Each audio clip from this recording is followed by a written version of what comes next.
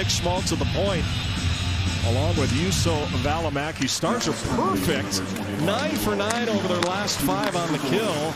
See if the Coyotes can break through here. Across, Valimaki scores! Juuso Valimaki! We're tied at one.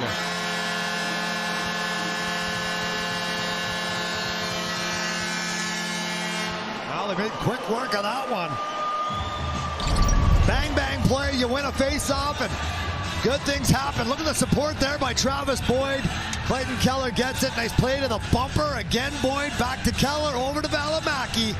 And they stretch it out, but look at the traffic in front. Barrett Hayton, does he get a stick on this one? No, he doesn't, but give him a ton of credit. He's right in the eyeballs of Oettinger, who never saw that puck leave the stick of Valimaki, his fourth of the season.